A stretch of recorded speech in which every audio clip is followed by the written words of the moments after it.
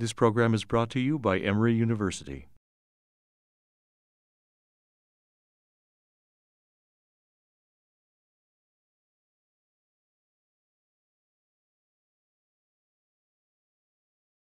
Good morning, everyone. Um, This morning you have me, and uh, that's owing to two things. One is a gap in the schedule, and two is that I, um, I actually just finished editing a compendium for Circ research on aneurysms, thoracic and abdominal aneurysms, and uh, we actually wrote one of the sections, and Ramundo, who's being a typical great fellow who's actually not here, uh, wrote one of the, helped me write one of those sections on uh, uh, the cellular mechanisms of AAAs and uh, cellular mechanisms of aortic aneurysms. And what sort of struck me as I was pulling this together, and it's, you know, if anybody wants to read it, there's a really good uh, section on genetics, actually, really, really nicely written. Um, but there's sections on genetics, cell mechanisms, microRNAs, uh, surgical and medical therapies, and um, and uh, you know, as I was putting it together, it sort of struck me that there's a pretty strong disconnect between what we understand about the pathobiology of aneurysms and actually how we treat them. And in reality, we have no specific medical therapy for abdominal or thoracic aortic aneurysms.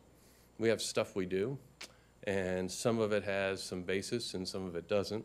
And uh, I'm going to talk about that a little bit.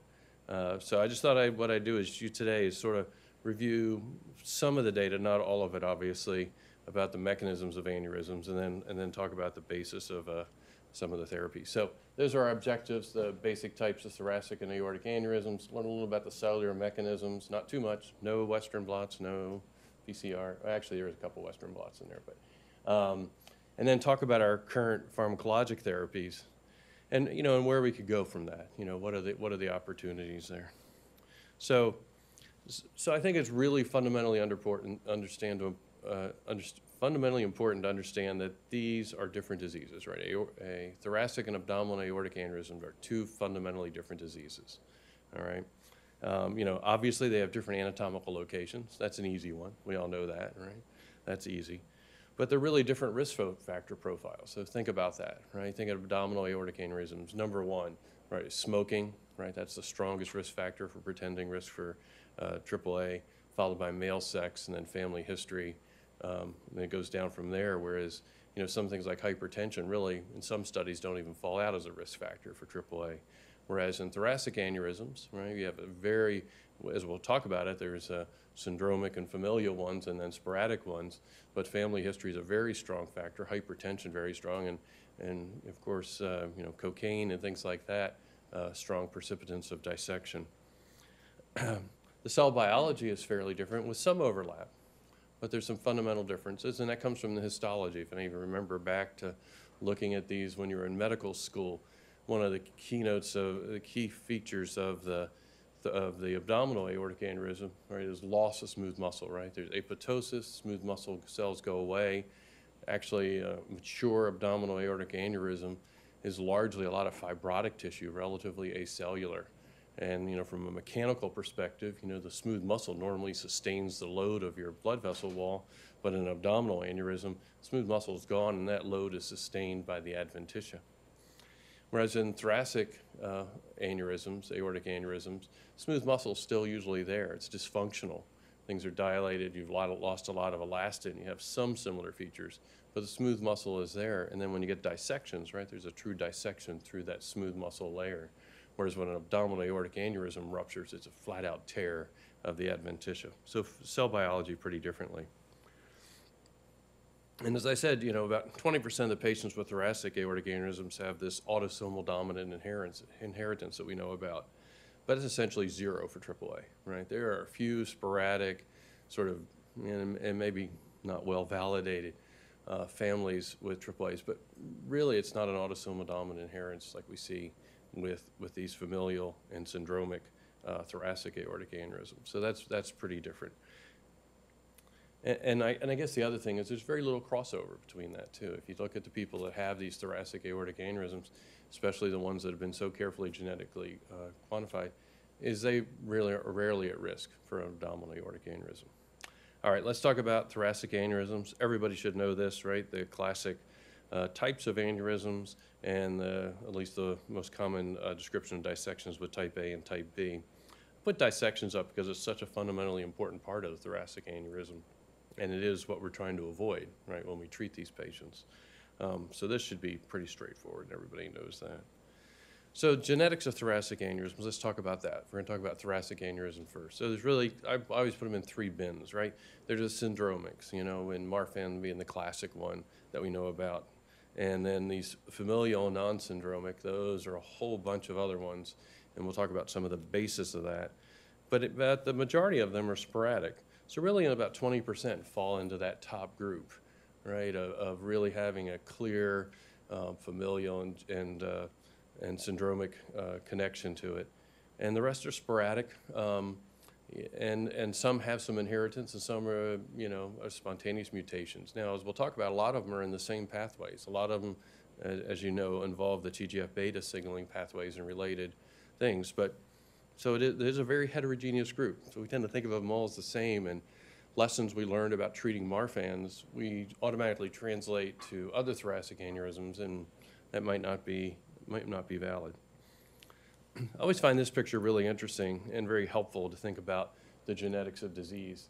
And if you, you think about things that, that, you know, on here is the allele frequency, okay? So over here are very common things. So common things, all right, so things that have very kind, common minor, minor allele frequency often have a very low impact on the phenotype, all right?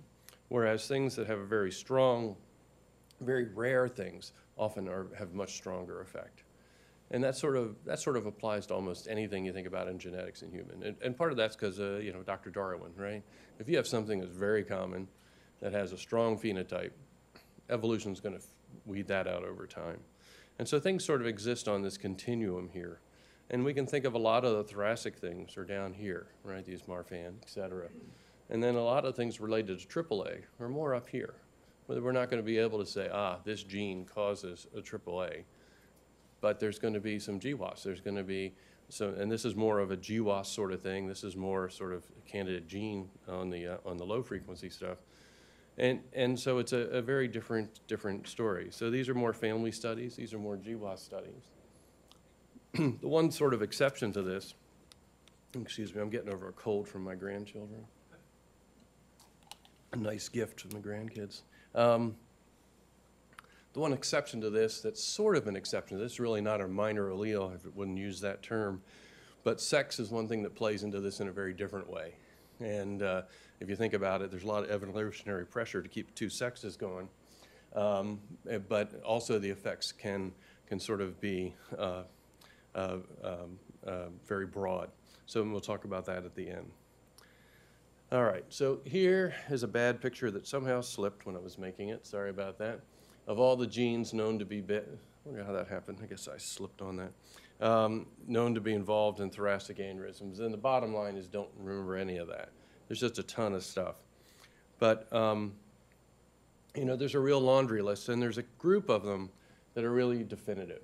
And we're going to talk about Marfan in a little bit as sort of the sort of classic one that we know about and use that as, as a sort of a case to go through the cell biology and what, how we've evolved therapy from that. But as you can see, as you look through a lot of these things, these are the, the genes names and, you know, smooth muscle actin, collagen, fibrillin, smooth muscle myosin, you know, TGF-beta 2, TGF-beta 2 receptor. And you can see some of these are really related to these major syndromes, right? And, uh, you know, the smooth muscle dysfunction syndrome, Marfan there, you can see with fibrillin 1, which we'll talk about in detail, uh, Loeys-Dietz, et cetera. Um, so a lot of these are around TGF-beta. They've been clearly identified. In most cases, they've actually made, they've identified the gene in people, done some studies in human tissues, and then often made the mouse model that recapitulates the human phenotype. So that's, you know, those, that makes those very, very definitive. What's interesting is they're not all about matrix. Because when you think about the vessel wall and you think, well, the vessel wall gets weak and the vessel starts dilating, you think, well, it's all matrix proteins, right? That's all about collagen and stuff. And, and that, that certainly is true with TGF-beta to some degree, although TGF-beta has other effects, and that's trans, transforming growth factor beta. But smooth muscle, obviously, is something different, right? So why is smooth muscle so important? And it turns out a lot of this is related to the interaction between the matrix and the smooth muscle. Because the smooth muscle doesn't sit there in isolation, it sits embedded in a collagen elastin matrix. And so a lot of this really relates to the connectivity of that. Now, there's a whole bunch of them where there's sort of some data to suggest that they're involved too. And a lot of these are a little bit further down the signaling pathways, and these are related, uh, like I said, signaling proteins here, you know, not signaling and things like that. But some are structural proteins like elastin, um, et cetera. And I only put these up just to give you sort of a broad view of the types of things, but most of it's around smooth muscle and extracellular matrix. And then there's some, you know, this is the, this is the sort of the complete list of, of things that have been sort of at the top of the list uh, the top uh, that have been identified. And uh, so these are ones that are, you know, some association studies, but haven't been proven uh, with either um, studies from human tissue and or uh, mouse studies to recapitulate. But again, you can see TGF-beta, which is involved in fibrosis, uh, inflammation, et cetera, but also smooth muscle and structural proteins. So a lot of it around that. So let's talk a little bit about Marfan, and I know you all know this. Um, but that's, that's Dr. Marfan. And, I, and one thing I learned a few months ago about Dr. Marfan is Mar, Dr. Marfan's index patient probably didn't have Marfan, right? Had something else, right? Had a, had a very different disease, had a very similar phenotype, but we now named Marfan syndrome after him. Uh, but in fact, he probably never saw a patient with Marfan syndrome. Um, but first described in 80, 1896, one in 10,000 births, about 25% spontaneous, so not all inherited, right? And uh, the vast majority related to mutations in the fibrillin-1 gene, right? But there's been, like you can see there, over 2,000 different mutations described. And that's really interesting when you think about it. So it's not like sickle cell, right, where you have a single amino acid flip and you suddenly have a phenotype and it's conserved and that's the only thing you see. What you have is all these different mutations and they cause slightly different diseases. And that's going to complicate it as we think about therapy, because not all of it is in an active site for binding. Some of them are, are, um, are missense mutations, right? And, but some probably cause some changes in folding, some cause some changes in binding to the receptor, and some, you know, a bunch of other things. So, so it's a heterogeneous, even though it's identified to this one gene, it's really a heterogeneous disease. And I think that's going to be important. so as I said, caused by mutations in this FIB1 gene, fibrillin-1 gene. So it's an extracellular matrix glycoprotein. That sounds exciting, right? And of course, when that was first identified, everybody thought, aha, well, and it was first identified really in about four or five patients. and, um, you know, everybody thought, well, this is probably a direct link to mechanical, right? you got a, an extracellular matrix protein, you're sort of losing your rebar or your structure of the vessel wall.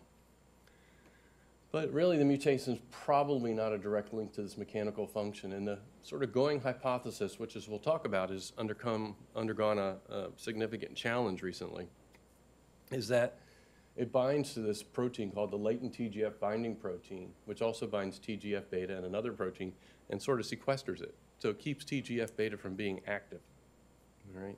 And that the mutation results in release of that, and that TGF beta is then available to work on its receptor and do a series of inflammatory events and things like that that lead to, to aneurysms. And so a nice picture of that is here. So this is the, this is the gene up here, the fibrillin-1 gene. There's uh, two proteins here. One is this latent protein and TGF beta, and they sequester it. If you mutate this out and you can't form this complex, then TGF beta is active and you turn on these two signaling pathways. One's called the canonical and the other non-canonical pathway. And we can talk a lot about that if you want afterwards, but most of you probably aren't interested in it. A lot of people have focused on this side and used that as an endpoint to try to understand that, and that's probably one of the mistakes in our fundamental biology of because this non-canonical pathway is also very important. And so these two things work together, and as you can see, there's a variety of gene products that eventually are transcribed here, including TGF-beta, other um, uh, proteins uh, that are involved like collagen, uh, things like MMP2 and 9, which are matrix metalloproteinases that break down matrix, So sort of, it's not obvious, like what you see as term potential gene products, that that's good or bad. And that's going to come back into the story. Um, the TGF beta story is even bigger than this. If you look at sort of this collection of other syndromic ones. So this is sort of a bigger picture of it. And you can see that up here we have what we had before, right, with these, the, our, fib, our FIB1 mutation and all. But you can see other ones that are popping up here. here. So over on the right, you have the LDS-like syndrome. You have, um, you have Loeys-Dietz here with the TGF beta uh, 2 receptor. And so there's multiple places within the signaling pathway that have been implicated in, in the syndromic uh, uh, aneurysms, as well as in some of the uh, familial ones, too. So some of these small familial ones not listed here involve other members of the signaling pathway. So that sounds good, right? So that's a whole story, pretty easy, good idea. the, um, but the truth is probably not there. Because while some reports show increased TGF-beta in aortic tissue from Marfan patients, others do not. So when people ground up tissue from Marfan's patients, they find more TGF-beta. So that sort of fits with that, that, that story. But when people look more carefully, they find that free TGF-beta probably is not elevated. but mouse, mice that are mutated FIB1 really develop these thoracic aortic aneurysms. People recapitulate it, so that sort of makes sense. But there are some data that show that if you disrupt, so you might predict then, if you disrupted the TGF beta receptor, you would reverse the phenotype, right? So if you took away the effector, then it would get better. But that's not what happens. So here's some, here's some data, data from David Dichek's lab out in Seattle. And what he did is he took mice that they made the mice with the Marfan's mutation, and then they crossed them with mice that they knocked out the TGF beta receptor. All right, so if you think that's really because you got free TGF beta, then this would reverse the phenotype. So here's the wild type. These are the Marfan's ones under two different conditions. Uh, just consider them the Marfan's ones. And then this is the combined one with the TGF beta receptor. And those animals have larger aneurysms. All right, so that's the exact opposite of what you would predict. So he would suggest that, in fact, there's a protective role going on here of, of, of, of, um, of the signaling pathway. And, and so that's really unresolved. That's really an unresolved issue at this point. And so the questions are, is it really because of the heterogeneity of the disease? Is it because there's some effect not through the TGF beta receptor? Is there some other off-target effect? And it's really not clear what's going on. So that, that's really one of the mysteries. So I know we've all been taught exactly how Marfan works, uh, but it doesn't work that way. It, it's probably more complicated than that. So what about therapy, right? So what is the evidence that supports the use of beta blockers in Marfan? So first of all, beta blocker is not a specific therapy for Marfan's, right? It's a, it's not a disease-specific therapy. What it is is, you know, the hypothesis was is that the higher dynamic impact of the each beat of the heart on the vessel wall would make the vessel dilate and have a profound effect, make the aneurysm get bigger. So if you treat it with beta blockers, you would shrink, you would prevent that progression and delay surgery, increase life expectancy. So, um, and, and, so, you know, again, not a disease specific, sort of a hemodynamic specific one. And, and so here was the, the study that really, really the basis of the recommendations for us to use beta blockers to treat Marfan patients. And again, we often translate these to non-Marfan patients. Um, and so it was, uh, you know, the combined endpoint, you can see it's a study of, what, 70 patients. Um, probably would not make 2019 criteria for publication in the New England Journal, honestly, right? Um, and a composite endpoint was death, congestive heart failure, aortic regurgitation, aortic dissection, or cardiovascular surgery. Um, and there was a significant difference between being treated with uh, propranolol versus uh, control in those in terms of that combined endpoint. And that's, that's the basis, that was the basis. But if you look at the paper carefully, one of the things they look at was the change in aortic uh, diameter. And so they have this aortic ratio here, which is sort of the ratio of the follow-up versus the initial area. And, and so the top is the control group, and the bottom is the treatment group. And the article concludes that there appears to be a difference between those two groups, right? But this is sort of the joy of presenting things on top of each other instead of next to each other. If you present them next to each other, I don't know that those look very different, right? Those look pretty similar. And in fact, there is no statistical difference between the change in aortic diameter. So we give patients beta blockers to try to prevent changes in aortic diameter.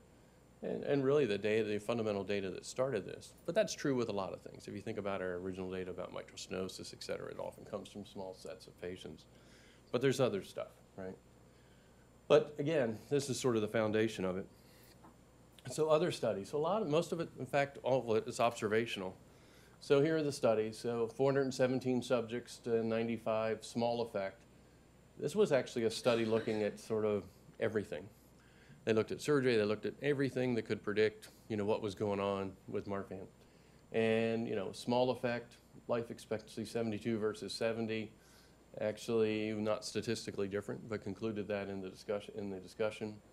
Um, the second one was a positive study with 113 subjects, looked at effect on rate of growth, but it wasn't indexed for size. So you might imagine larger aneurysms tend to grow at a slower rate. You have this early initial expansion that's been described. And, uh, and then you have another sub, one with 150, decreased rate of dilation, but again, not indexed for size. And then a, a smaller group in pediatrics that showed no effect, and again, probably underpowered for that. And in, you know, here's a summary of, of some other trials put together. And, and, you know, this is from a, one of those Cochrane database analysis and where they evaluate the quality of the data. And you can see that the quality of the data is uniformly evaluated as low. So while it makes sense, you know, to treat these patients with beta blockers, and we do, and we treat a lot of people with aneurysm with beta blockers, um, you know, the data aren't overwhelming and you know, and, and maybe it falls in the common sense category, but there's really not a, not a, not a ton of data. Now, the other subject that always comes up with angiotensin receptors, blockers, and the angiotensin system. Why is that important in, in Marfan and other aneurysmal diseases? So in cells and animal models, Ang2 stimulates TGF-beta expression. All right, so you take smooth muscle cells, you dump Ang2 on it, they make TGF-beta. and so if you think that's bad, um, ACE inhibitors or ARBs should decrease TGF-beta expression, and they do in animal models because we have circulating uh, trans, uh, uh, angiotensin-2 in our bloodstream.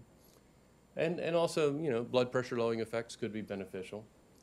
And so the data really uh, developed again from the same group, actually, showed that initially prenatal treatment with an ARB, which is something none of us would ever do, right? Because of the, you know, I mean, that's not, that's against the rules, right? Because of the effect on, on development of the uh, adrenal system. Uh, but again, in another, later on, postnatal treatment of these Marfan syndromic mice with losartan had a positive impact on aneurysm formation. And the, and the data were quite dramatic. So here are these, these little guys, these mice. Again, they have a mutation in them, one of the mutations that, uh, for Marfan's. And you can see here's a Here's a wild type mouse, and this is uh, this is a collagen uh, elastin stain ring, and uh, here's placebo, here's propranolol, and here's losartan. After about six weeks in these animals, I think it was about six weeks, and on the right there is the is the growth. They measured them as as they grew. They sacrificed them at different times, and you can see that propranolol had an effect and losartan had a very strong effect. All right.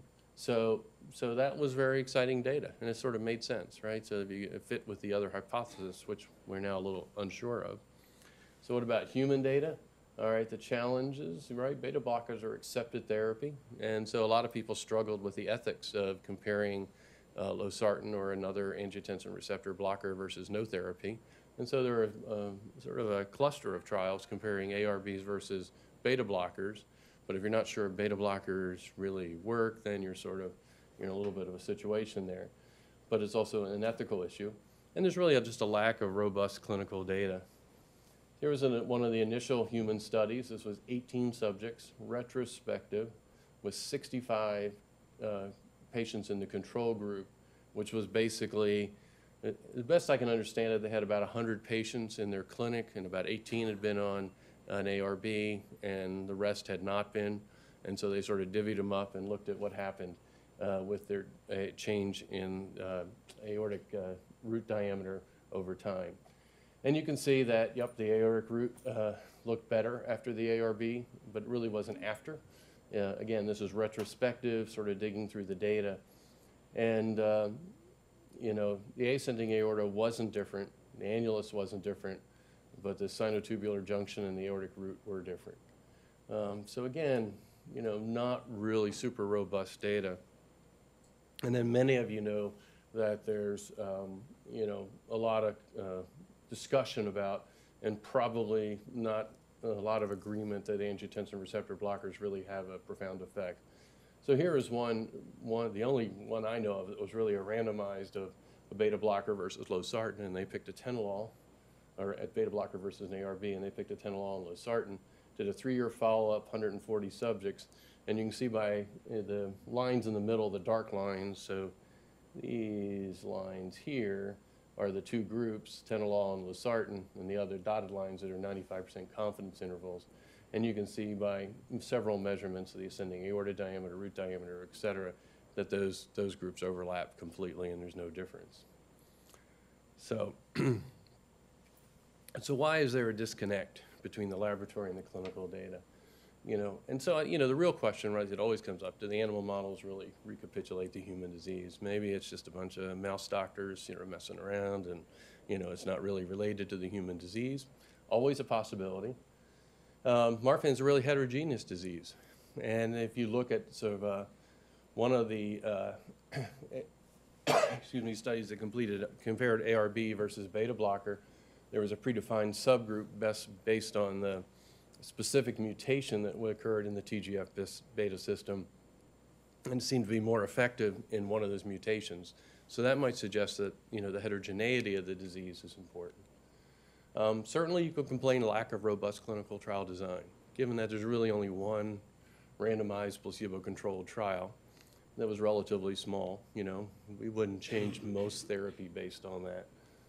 And then there's really issues with disease state.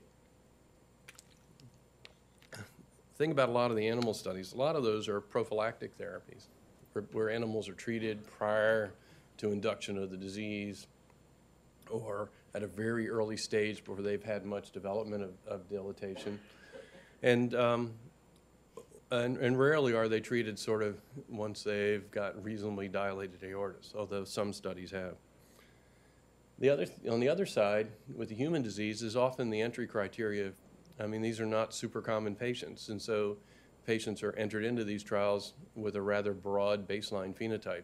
And while many of the studies tried to go back and and correct for changes in baseline diameter, that could really could be a factor too. You know, you could have people more so advanced that it's sort of too late, right? The horse is out of the barn. You've got some secondary processes underway. And that's very common in biology, right?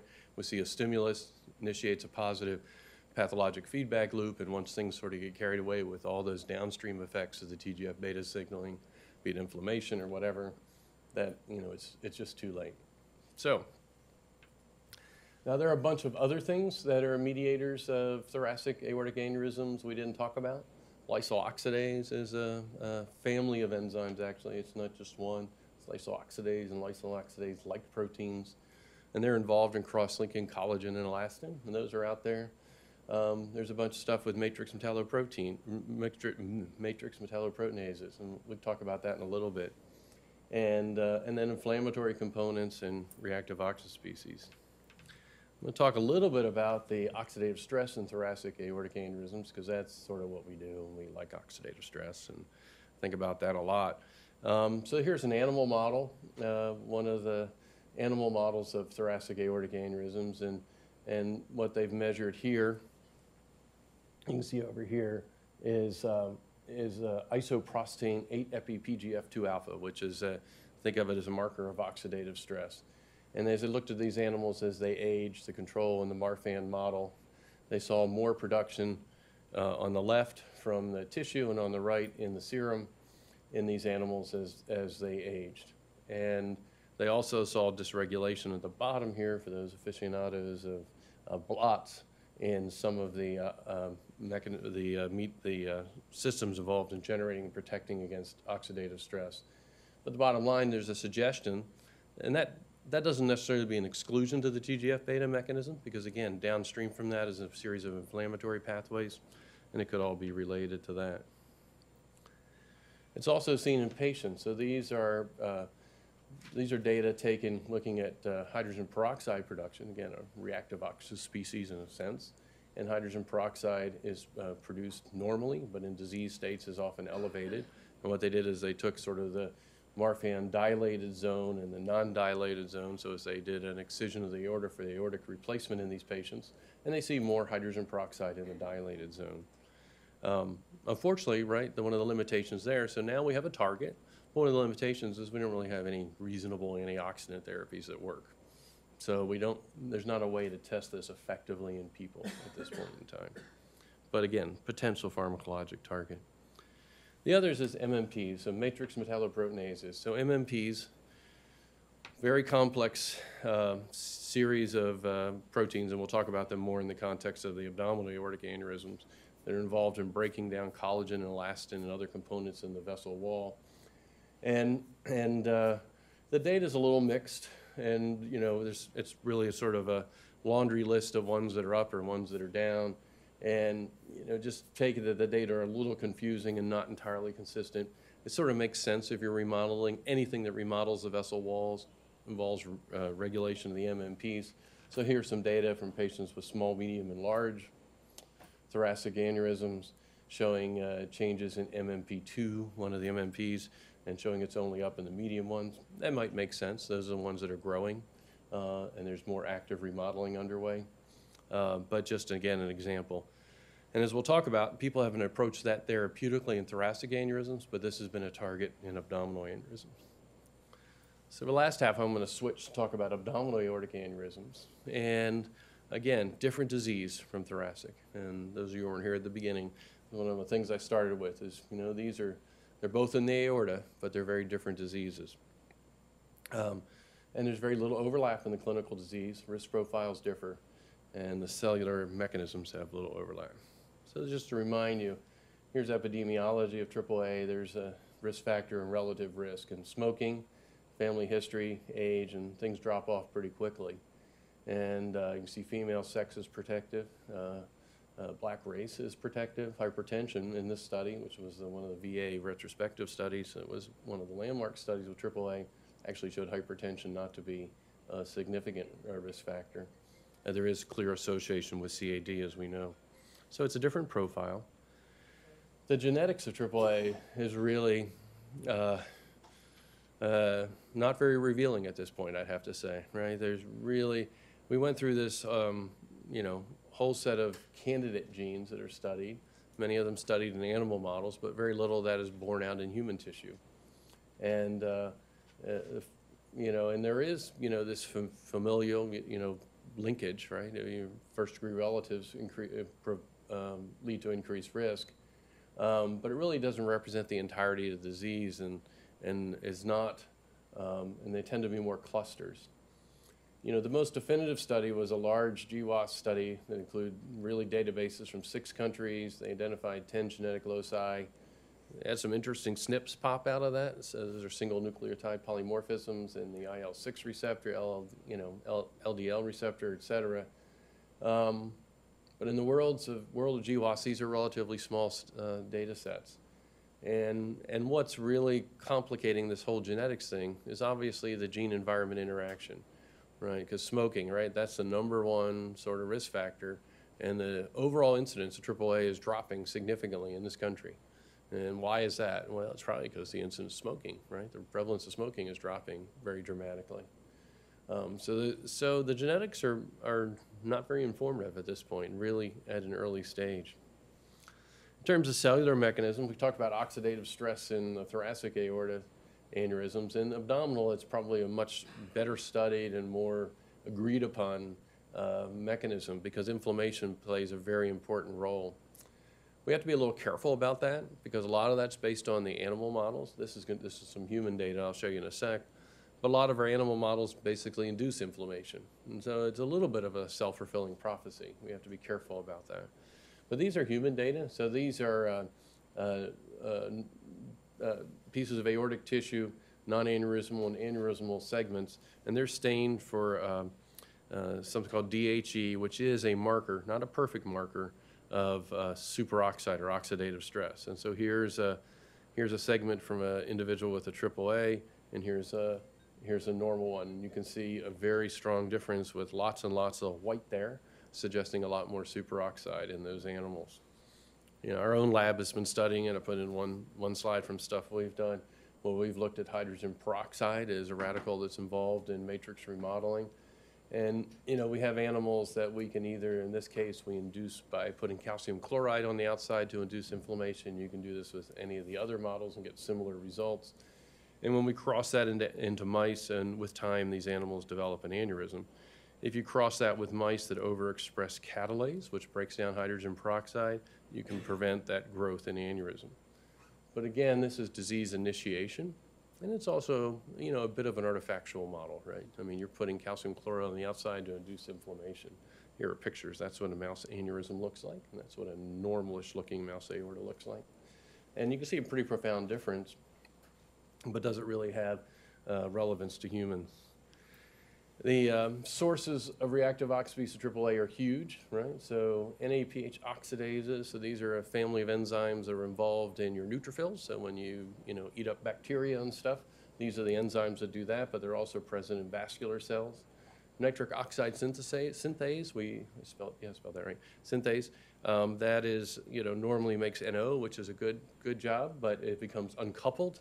Um, there's tetrahydrobiopterin deficiency and then makes superoxide. And then myeloperoxidase is also thought to be very involved. I'll show you a picture of that. Mitochondria generate ROS, particularly if they're uncoupled. So there's lots of sources. So myeloperoxidase, remember that's in neutrophils, and that takes hydrogen peroxide and generates uh, hypochlorous acid, bleach, right? Clorox bleach, right? So your cells make Clorox bleach, and that can make singlet oxygen. So that's been involved too. And here's, uh, here's some animal work showing uh, ApoE mice and then ApoE mice that have my, myeloperoxidase. This is a heterozygote. This is a homozygote knockout of this animal and showing that you prevent aneurysms in those. So, so there's a lot, there's, you know, it's clearly a lot of animal data. And again, the challenge in converting that to humans then is we don't really have a good drug to test to reduce oxidative stress in humans. So here's all these MMPs uh, out there. So in AAAs, they've been studied a lot more. Um, uh, 1, 2, 3, 9, 12, 13, and 14, uh, just to have the laundry list out there, have been shown to be involved in AAAs. Um, you know, they break down collagen, elastin. They're listed by those. There's a different nomenclature now that's probably a little more appropriate. Um, but they're all very, you know, they cross over, and even though a collagenase will also break down elastin in the right setting and stuff like that. So a lot of them have been implicated. So that, that struck people as a potential therapeutic target because doxycycline, good old doxycycline, is an MMP inhibitor, right? It globally inhibits matrix metalloproteinases. And there's been a lot of MMP inhibitors studied in cancer, right? So there's all these candidate drugs out here. So this seemed like a pretty hot area, an area worth pursuing. So here's some animal studies. So this is a, a sham animal. This is an animal that double develops a, triple a AAA. So, so doxycycline, um, as you can see in the bottom panel there, when you treat them under certain different sort of conditions, either orally or IP, it inhibits aneurysms in mice. So that was pretty exciting. So here's, you know, a drug you could give people, and it should work, right? Prevents matrix metalloproteinases. So human trials have really not borne that out yet, all right? So here is one trial uh, published in 2013, which was a randomized study done pretty well with a reasonable number of patients. And, um, and you can see the doxycycline, this is the estimated mean aneurysmal growth, the growth rate. Um, if anything was trending up, it wasn't significantly different, but was trending to be worse actually in the doxycycline treated group. Uh, there is a large trial underway now, uh, much larger. The criticism of this trial is this was a low dose of doxycycline, and in a pilot study they used low, medium, and high dose. And the effect that was the pilot for the subsequent study, the effect wasn't really seen there in the, in the low dose. Um, so there's sort of more to come on this. Uh, but so far the data are not overwhelming. Uh, and you could think about that, you know, MMPs are good and bad, right? They help you remodel, but they also allow you to remodel to a better mechanical position. They allow you to break down proteins in order to rebuild your extracellular matrix to make you more structurally stable. So it is possible that actually inhibiting them could lead to an adverse outcome. So what about, the other thing is angiotensin 2, right? So one of the models we use is angiotensin 2 in mice. So we give mice angiotensin 2, put them on a high-fat diet, and those that have a risk for atherosclerosis, either ApoE or LDL receptor knockout, those animals, and they develop these really nice aneurysms. You can see this little pretty aneurysm on the left. You open it up, it's all ugly and disgusting inside, but they develop nice little saccular aneurysms. So is Ang2 uh, potentially a target? And, uh, and so ACE inhibitors really don't impact AAA growth either. One of the problems with a lot of the studies on Ang2, right, is that's an acute intervention, and you know it's uh, sort of a, a large uh, dose of inflammation. And those animals, while they have nice little saccular-looking aneurysms, um, some of them develop dissections early on, and some other features that are not consistent with human disease. So they, there may be a model issue there. But the human study, and this is a pretty well done study, um, using placebo, they used ACE inhibitor, and they used amlodipine, and found no difference in over time. Uh, so not, not a positive outcome there. So, so again, there are other things, you know, that have been impl- impl- implicated. Um, but right now we have this sort of list of over 100, I think 105 when I last looked at it, different candidates for, or, or molecules or reactive intermediates that have been implicated in abdominal aortic aneurysm formation. And while a lot of them work in animals, we haven't translated much of that to humans yet. So it's a real, real challenge. In the last couple minutes, I'm going to talk about uh, some work we've been doing. I've presented some of this before, but I thought it was sort of fun to follow up um, because, you know, not all factors leading to AAA are druggable targets. And I mean that not only in terms of the mediators we found, right? Some of these are transcription factors and things like that that you really can't drug, right? Because they have such profound effects. But we also like to think about mechanics. So, you know, I like mechanics. And for a lot of time, we thought about why aneurysms form where they do. And our hypothesis has been is that there's a flow pattern that sets up why aneurysms form. So in humans, right, AAAs typically form in the infrarenal aorta, and in mice they form in the suprarenal aorta when you give Ang2. So you give a systemic drug, angiotensin 2, and they get aneurysms in a different place, but only in that place. So why is that? So without going through a lot of the data, we have a lot of data that suggests that the flow environment, because what happens is if you look in this part of the aorta, uh, in the, it's not showing up, in the suprarenal aorta in a mouse, you see an area of disturbed flow where flow circulates. And if you look in humans, that's in the infrarenal aorta, uh, at least in males. It's in the infrarenal aorta, and there's a big area of circulating blood flow. And that area of disturbed flow, we think, turns on some key receptors and signaling mechanisms in the endothelium that leads to a cascade of events that predispose you to aneurysms. It doesn't necessarily cause it, but it predisposes you to it. And so we've studied this, and one of the neat ways we studied it is look at this difference. Why do women have far less risk for developing a AAA than men? So your answer is estrogen, right? Well, it could be, uh, or androgens. Uh, it could be, but there could be a mechanical reason, and that's because we're all built a little different. So if you look at the blood flow in the pelvis of women, right, it's obviously very different because they have to provide blood flow to the uterus and to the reproductive organs. And as much as the men in the audience want to think they have the same amount of blood flow to their reproductive organs as the women do, you do not. You actually have a very small amount of blood flow to your reproductive organs, and women have a whole lot. And in fact, the uterine artery is a very low resistance pathway, and it has no flow reversal. So most of your peripheral blood flow has a flow reversal pattern because there's a pretty high resistance. But the uterine artery has very low resistance, high forward flow, and it's like a sink. It's like a sump sucking flow out of the aorta. And if you were Dr. Darwin and you were designing the system, that's the way you would design it, right? You wanted to optimize blood flow to the uterus, you know, for babies to grow and to ensure, ensure survival of the fetus. So we did an unusual thing. We actually looked at women because it, all, we looked at a bunch of blood flow studies that had done on the MRI before, to look at blood flow patterns in the abdominal aorta, and they were actually all done in men. There was not a single published study we could find of blood flow patterns in the abdominal aorta of women. And so when we looked, we found a very big difference.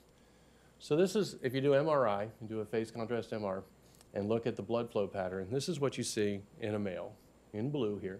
You see forward flow towards the feet going up, and then this triphasic pattern with flow reversal. If you look at women, you see a diminution of that, so you don't see as much flow reversal. Okay? And we hypothesized, again, that's because this flow is being sucked off distally into the, into the, through the internal iliacs to the uterus. And so if you look at the blood flow, um, flow reversal, it's much higher in men, about 15 to 20% of the blood flow going forward comes back every cardiac cycle in that infrarenal aorta, whereas in women it's much lower because it's distally getting pulled away. And if you look then in the internal and external iliacs, you see a very, uh, something that's very interesting. So if you look at the external iliac, right, which feeds the leg, men and women are about the same, right? They both have the same amount of blood flow reversal, that sort of 18, 15, 20%. But if you look at the internal iliacs, you can see the men have pretty good flood, blood flow reversal, while women have all, essentially all forward flow. Again, that's all that flow being uh, sort of brought down into the uterus. And then here's just a graphical representation of how that works out. So men on the top, systole on the left there, all forward flow in both men and women. In men during flow reverse, during diastole, you get flow reversal in the internal iliacs, external iliacs, and also the infrarenal aorta. Whereas in women, this flow comes up and then continues to support the uterine blood flow. And then here's some pretty pictures. These are these, this is uh, our colleague Alessandro Veneziani in mathematics developed these. So these are these massless particles. Um, and you can see in male, you can see how the flow comes down and you can see the flow going backwards. Whereas in the women, you can sort of see the blood flow uh, comes up and it continues to go forward in the internal iliacs. So that was our hypothesis. And we used a couple of, uh, and then Liz Iffrig, who was a, uh, one of our residents now, who was an MD PhD student in the lab, did, did some of this work too and looked at uh, women that had fibroids. So fibroid tumors are very vascular. So it's even lower resistance. You would expect even lower flow reversal. And so sure enough, that's what she saw. And there's men versus women looking at their oscillatory flow ratio or the flow reversal. You can see women have less, and then women with fibroids have even less. And uh, that, that's just net flow data. So again, that, that sort of all made sense. So, so clearly, something that might be important in aneurysms and why women don't have as much risk for an aneurysm as men, and opens up some interesting discussions about what happens with hysterectomy at an early age and things like that. Um, but also not a druggable target, right? You can't, you can't pretty much modulate that kind of blood flow in people. So I'll just finish up by just, um, you know, my summary here. And hopefully, if you remember one thing, you know, thoracic and abdominal aortic, aortic aneurysms are very different diseases, right? There's some overlap, but there's a lot of difference, a lot of heterogeneity. And, and there's a lot of heterogeneity in the thoracic aneurysms. Even within Marfan, a thing we think of as a single syndrome, it's a very heterogeneous disease. And really, there are zero, absolutely no disease-specific pharmacologic treatments for aortic aneurysms. Right? We have none defined. And it doesn't mean we shouldn't use, you know, beta blockers, ACE inhibitors, and ARBs, because they make sense. And a lot of stuff we do, we do because it makes sense and it might work. Um, and, but there are really some key trials underway. Right? There's another, another trial underway, as I said before, with the uh, MMP inhibitors, uh, the doxycycline in abdominal aneurysms. There are a couple of key thoracic and Marfan's trials underway as well. And I think we have a lot to learn. And uh, we need to constantly reflect back and forth between these animal models and humans and make sure we're on track and make sure they're, they're relevant. One of the things when we review grants and the things we always think about when people find something in a mouse, you want to make sure you see something correlative in the human so that it makes sense. Uh, There's, uh, just for the research pe- work, some of the people that worked on this, uh, you may see some former fellows there. Alex Malinsky did some of the stuff, Liz Iffrig, and Michelle Consolini, Alessandro uh, Veneziani in mathematics, a great collaborator. Um, And with that, stop. Happy to answer any questions you might have. Thanks.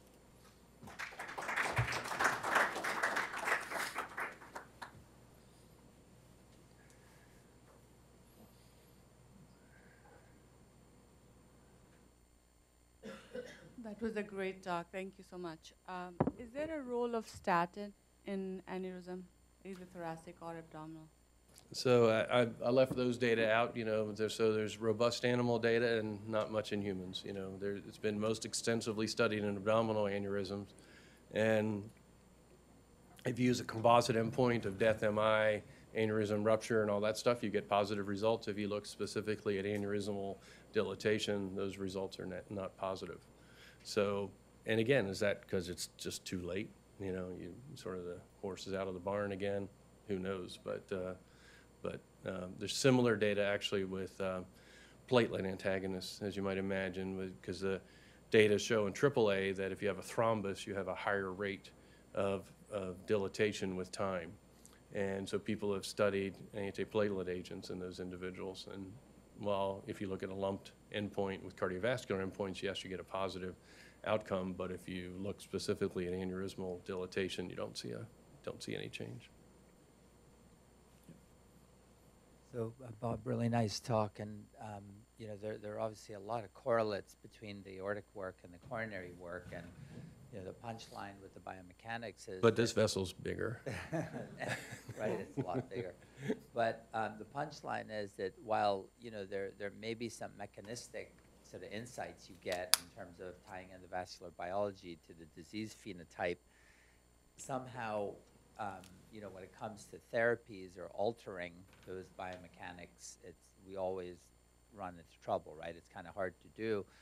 And I just wonder what your thoughts are on the effect of you know things like posture and exercise, particularly in the lower extremity. I know you've done that cool work with the amputation, but what about exercise? Uh, because what what would the impact of exercise be on the on the lower extremity resistance, and would that be at least some potential therapeutic target that we know generally helps, but could tie into the abdominal aortic aneurysm story? Yeah, so, so it sort of makes sense, doesn't it? If you exercise, you increase your muscle mass, probably increase your vascular network. And uh, a guy named Charlie Taylor, no relation, out of Stanford, who you know from, uh, who's now in the commercial world, um, uh, had a series of studies in which he took people with triple A's and exercised them and uh, really didn't see any significant change. Those were all pretty acute experiments, though, and people with established um, triple A's you know, probably makes sense. The concern, obviously, then the issues he ran into with IRBs and stuff is, well, your blood pressure goes up. Does that increase your risk of acute rupture in these patients? Um, so the studies he did were largely sort of acute monitored experiments with someone in an MRI scanner, you know, on a bicycle and things like that. So it, it certainly makes sense. I can tell you sort of anecdotally, uh, you know, you mentioned the amputee work. Uh, for others in the room, we've done studies looking at what the effect is of occluding blood flow to the leg because there's these data. It's just patients with above the knee amputation increased risk for AAA, and it's sort of the opposite of being female because you have much higher resistance, much higher flow reversal, and uh, and you know it's sort of it all pans out. But one of the subjects we looked at uh, who had an amputation actually had very low flow reversal, but this was also a guy who could hike to Stone Mount, top of Stone Mountain on a crutch on one leg. Um, and he, his, his good leg was a, larger than many people's waist. I mean, it was a massive amount of muscle mass there. And, you know, he had very little flow reversal. So I guess if, if you could do what he does, which is on one leg go and a crutch, climb up and down Stone Mountain, uh, you could, you could impact it. Comment on the, the really marked differences in the phenotype of the uh, mice, mouse model and the humans, right? But the, that you pointed out when you showed your data, I noticed that the aneurysms were suprarenal, Mhm. um, and that must really put a wrench in that model altogether, right? I mean, I, I know there are things you could probably learn from it, but Well, I think, I think it's the flow pattern though, right? I mean, that's the difference, right? Is the flow reversal is in the humans is infrarenal and in mice it's suprarenal. And that's sort of the big difference. And um, uh, we have some data that suggests that the Ang2 receptor uh, expression is different and influenced by that flow environment. Um, you know, the other models are you put on external elas- uh, internal elastase and hyperpressurize the vessel, sort of overextend it. The others you put calcium chloride on top you know, none, none of those models are perfect, and uh, you end up using several of them usually. Dr. Smith? Bob, Bob, who- do you screen for abdominal aortic aneurysms, and uh, what do you think about the, uh, the guidelines on, on screening? So, you know, the guidelines, y- y- I mean, you all know what the guidelines are, and it's, you know, the welcome to Medicare thing, and, and if you're male and smoker and family history, what's excluded from the guidelines essentially are largely women, and, uh, you know, that's probably not appropriate. And that, and is there, I don't know, Rebecca could probably tell me the difference between, there's a European guideline, there's a US guideline, there's a vascular surgery guideline, and I always get them mixed up about which is which, and one of them lets you screen women, and one doesn't let you screen women. And uh, I know I've battled with insurance companies over screening women, um, but uh, I, I think the guidelines are probably, you know, I mean, until we know better, they'll stay where they are, but right now they're probably a little, uh, a little limited. Yeah, yeah. So over the years in practice, I've seen people who, with ARB and beta blockers, have maintained dimensions of 4.2 or so, and next year, some of them have just galloped away to larger and larger sizes, and despite best therapy. So can you hypothesize on the differences in these two categories as to why one would grow more rapidly despite best therapy and one would not? No, no idea. I mean, they, you know, the question is, is are those therapies doing anything, right? I mean, that's the question. Are those therapies um, really effective? I mean, it's what we do, but are they really having an impact? And the natural history of all these aneurysms is not of linear growth, right? It's of exponential growth, a nonlinear process. Um, So, you know, that, that's more consistent with just the natural history of aneurysmal dilatation. And that's one of the problems when you go back and look at the Marfan data where they do these rate of changes, because it's a, it's a nonlinear function. One last one. Yeah. wondering if you looked at people with hys- women with hysterectomy? So have we looked at women with hysterectomy? We- We've just done a few, and we haven't done enough to really, there, there appears to be a little different, some, there is a difference, I can show you some of the data, but we've only done like four or five. Um, We're waiting for the NIH to think this is interesting enough to fund, because it gets a little expensive doing all these MR scans. Uh, But that's, that's something we really want to do, and we also want to do uh, the women with fibroids after uh, embolization therapy, because as you know, that's the- one of the more common ways of treating fibroids now with embolization, and that should make them go back up in their oscillations. So, all right, well, thanks so much, everyone. Have a good day. The preceding program is copyrighted by Emory University.